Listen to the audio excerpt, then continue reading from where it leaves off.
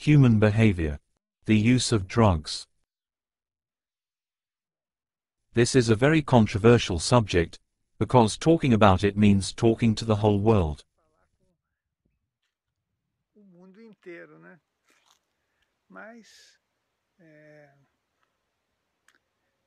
eu participei bastante tempo do, do I took part of an institution for a long time as a psychoanalyst, and I helped and I continue to help a lot of people who have used and use drugs. And it's obvious that everyone asks for opinions on what would be best in a psychoanalytic approach. As a psychoanalyst, what I can say is that we need to be exempted from everyone we take care of. é que a pessoa se sinta melhor mais feliz The idea is that the person feels better and happier, and get on with their emotional life in a Essa é a satisfactory way. So, that's the psychoanalytical way. Aí a minha When it comes to spirituality, tem a ver com that is my approach. energias que a gente Of course, it has to do with the energies we work with, and consequently, com o caminho with the way we can improve or worsen ourselves as reincarnating consciousnesses.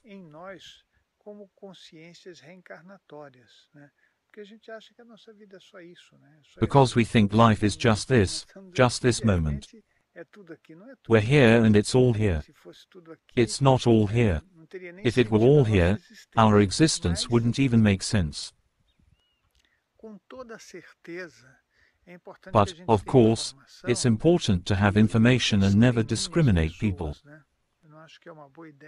Pessoas, né? Eu não acho que é uma boa ideia se discriminar uma pessoa I don't think it's a good idea to discriminate tem a sua someone because they do this or that. Everyone has their own way, não tem nada which is individual. ver com o outro. Evolution is individual.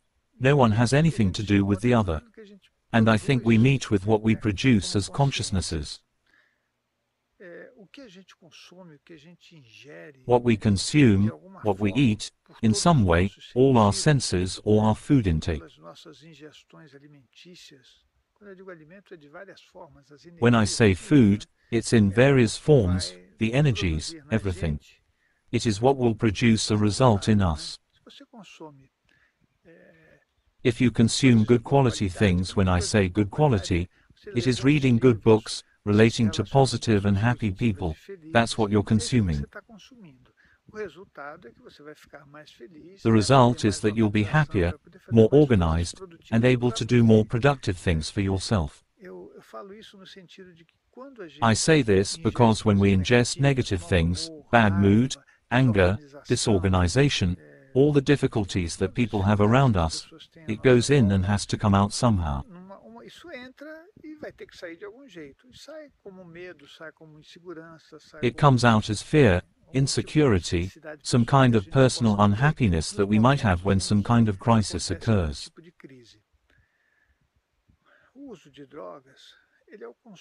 Drug use is the consumption of something that can harm us at some point, I think.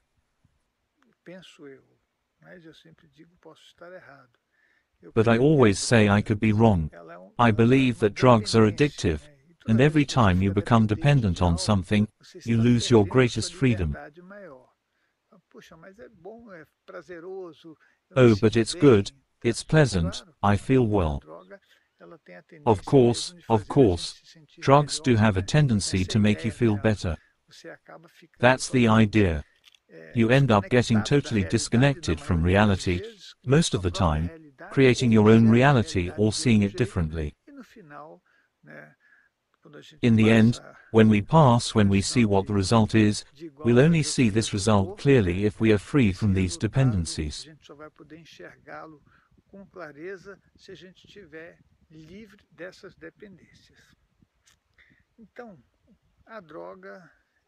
So, drugs affect us in our evolutionary processes, for sure. De evolução, com toda certeza. Então, você fala, mas como assim? Sim, ela distorce What do I mean? They distort our energies, they take away our continuity, provoke the company of people or spiritual consciousnesses of the same level, so, you are kind of in bad company. Ficando meio, meio que mal acompanhado, né? Eu nunca vi nenhuma pessoa que usa droga, I've never seen anyone who uses drugs, no matter how free they feel, no matter their por mais que ela resources, no matter how good they think life is, without an um internal conflict.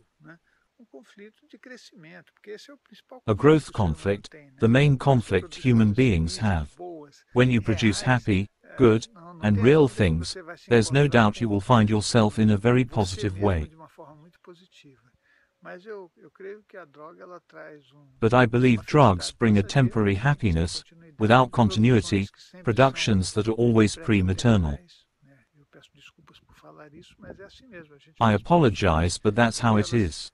We produce things that seem to be for the world, but, in fact, they are just for the ego, they are really childish.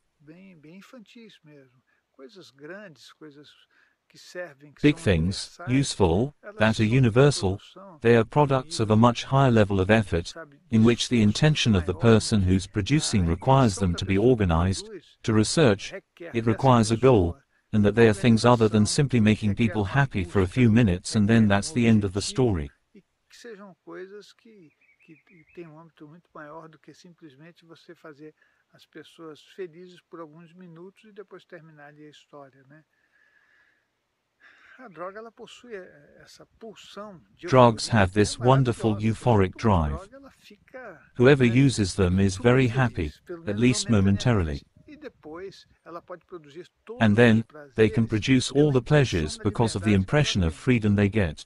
Mas no final das contas, eh, But at the end of the day, when you settle your account, o tempo passa, nós temos que lembrar disso, né? Ninguém vai time passes and we have to remember that nobody is young all the time. Nós temos que produzir coisas We have to eh, produce things for us to have physical, spiritual, and emotional maintenance until the end, because when you're old, já com a what will be left of you are the shards of your dependence on something. são os cacos daquilo que você criou de dependência de alguma coisa, né? Então, eu acho que é sempre bom a gente pensar So, it's always good to think about it to have a parameter of né, positive things. This is fundamental for us. I know that the things I say can sometimes contradict some ideas, can create some conflicts, people may not accept it. I have nothing against who uses it. Discrimination is something that should never be done in any way. Any kind of discrimination. But how do I approach it? From the perspective of evolution, growth, human liberation, because we can't walk into a prison all the time. pode caminhar o I see that todo com a society is increasingly going that way. sociedade cada vez vai What I'm saying is just a reflection to make us think Isso que eu about it. falo é apenas para uma reflexão, né, pra gente poder falar assim, "Poxa, But I'm not saying I'm right or that I want to mas eu não convince people. que eu tenho razão, ou Everyone has their own thoughts, their own path, their own judgment, and that's what should matter. o seu próprio caminho, Everyone meets with what they are, always. So that's it. If you like the video, subscribe to the channel. Also, you can find the address of our website and our social networks in the description. Access our content and buy our materials to help us continue our work. Thank you very much. Você acessa o nosso site, adquire livros e CDs para que a gente possa continuar o trabalho. E muito obrigado.